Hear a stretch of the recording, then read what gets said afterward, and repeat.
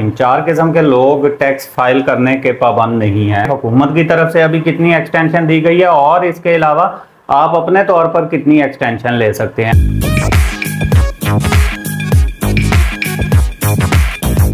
बिस्मिल्लाहिर्रहमानिर्रहीम। चार किस्म के लोग टैक्स फ़ाइल करने के पाबंद नहीं है। कानून के मुताबिक अंडर इनकम टैक्स ऑर्डिनेंस 2001 की अगर आप सेक्शन 115 देखेंगे तो उसमें चारों लोगों की तफसील भी बताई गई है, जो मैं आगे आपके साथ शेयर करने वाला हूँ।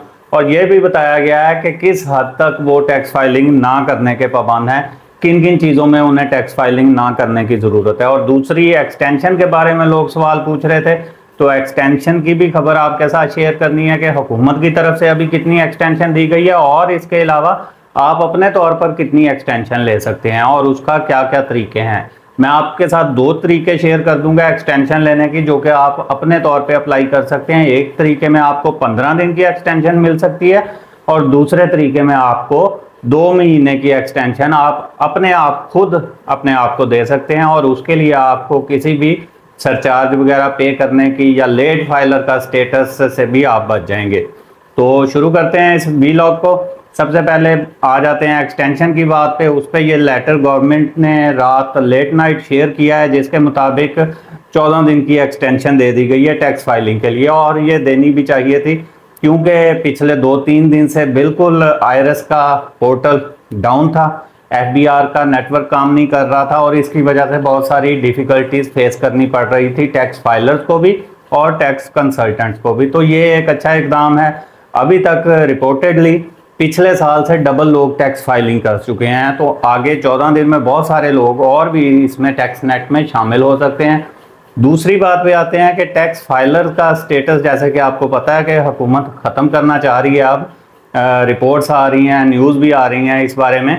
तो अब यानी नॉन फाइलर का स्टेटस बिल्कुल ख़त्म हो जाएगा हुकूमत की तरफ़ से। अब नॉन फाइलर की कैटेगरी ही ख़त्म हो जाएगी। पहले तो ऐसे होता था कि नॉन फाइलर अगर आप हैं तो आपको एक अमाउंट बता दी जाती थी कि वो ज़्यादा आपकी परसेंटेज टैक्स आपको पे करना पड़ता था फाइलर को कम करना पड़ता था।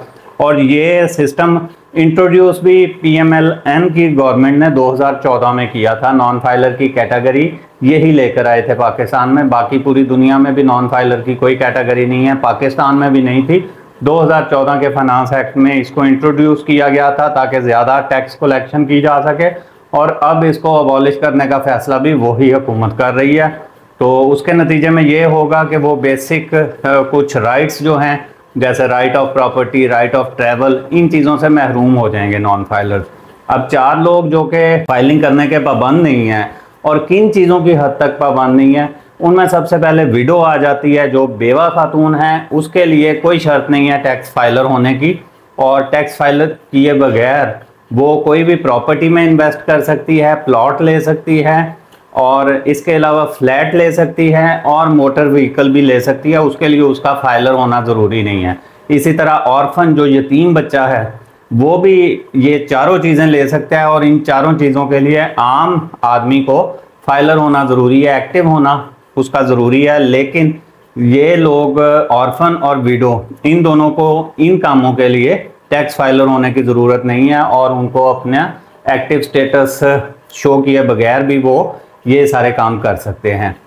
तीसरे नंबर पर डिसेबल लोग आते हैं जो कि हुकूमत की तरफ़ से जिनको सर्टिफिकेट इशू किया जाता है और जो कि ऑफिशियली डिसेबल डिक्लेयर किए जाते हैं हुकूमत की तरफ़ से, वो लोग भी फाइलर हुए बगैर प्रॉपर्टी में प्लॉट में फ्लैट में और कार में इन्वेस्ट कर सकते हैं परचेज कर सकते हैं। उनके लिए फाइलर बतौर फाइलर एक्टिव होना ज़रूरी नहीं है इन सारे कामों के लिए। और लास्ट में अगर हम आ जाएँ तो जो नॉन रेजिडेंट पाकिस्तानी हैं, जो ओवरसीज़ पाकिस्तानी जिसे आम ज़ुबान में कहा जाता है, उनके लिए भी अगर वो प्रॉपर्टी परचेज करना चाहते हैं तो उनके लिए भी उसमें कोई भी शर्त नहीं है एक्टिव टैक्स पेयर होने की।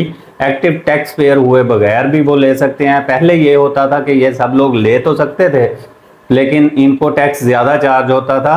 नॉन फाइलर होने की वजह से। लेकिन अब जब नॉन फाइलर की कैटेगरी अबॉलिश कर दी जाएगी तो उसके बाद फिर इनको टैक्स भी नॉर्मल चार्ज होगा और ये लोग ले सकेंगे, जबकि बाकी नॉन फाइलर जो हैं, वो इन चीज़ों में इन्वेस्ट नहीं कर सकेंगे। उन्होंने जब भी इन चीज़ों में इन्वेस्ट करना होगा तो उसके लिए पहले उनकी टैक्स फाइलिंग करना और उनके लिए उसमें एक्टिव होना ज़रूरी होगा। तो आज के वीलॉग में यहीं तक।